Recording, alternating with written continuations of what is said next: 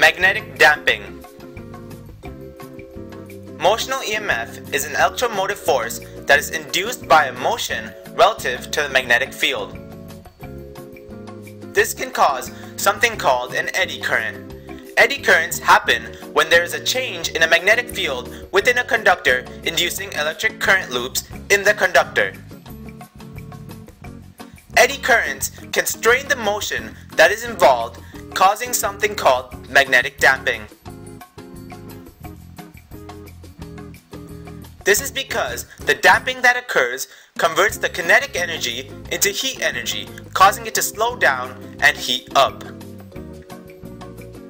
The first part of this image shows a metal pendulum being swung through the magnetic field of a horseshoe magnet.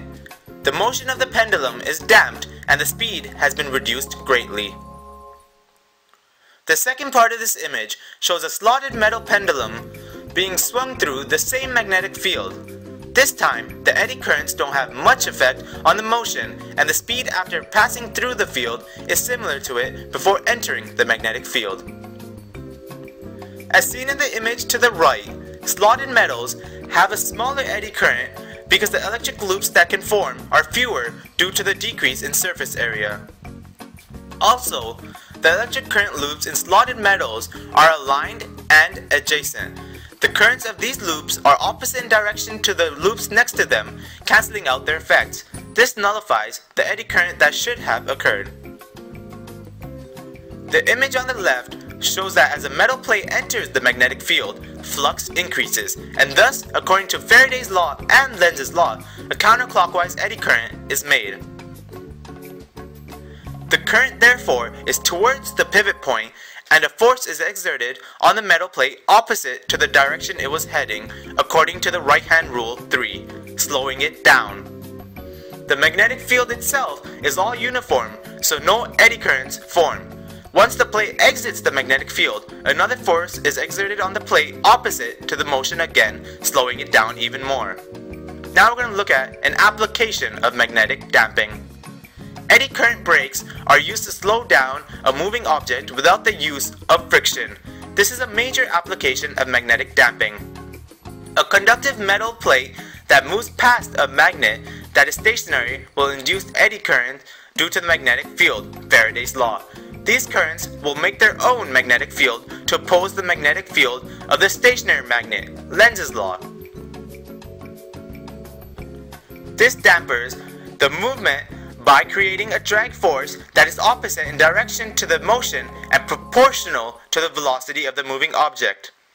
The electrical energy of these currents is turned into heat energy because of their electrical resistance.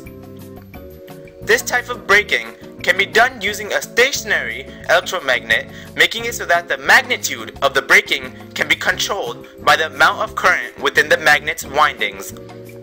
Since there is no friction, the brakes will not wear out, so replacements are not needed. However, since the opposing force is proportional to the velocity, when the object is not moving, there is nothing to hold it in place. There is no holding force. This means that the object must also be accompanied by a friction brake. Eddy current brakes are used in roller coasters and high-speed trains. Now we're going to look at the societal impact of this. The application of magnetic damping affects society in a positive way. It helps people travel faster and have fun. Magnetic damping is used to slow down really fast vehicles such as high-speed trains and roller coasters. Without magnetic damping, it is impossible to stop very high-speed vehicles because the friction on the brakes will be too much to handle. It will release an immense amount of heat and could very well destroy the brakes after one use. Magnetic damping helps slow down the train and roller coaster enough without friction so that a friction brake can be used to hold it stationary so that the brakes don't wear out. This allows for the use of high-speed trains that help people travel faster and roller coasters which allow people to have fun.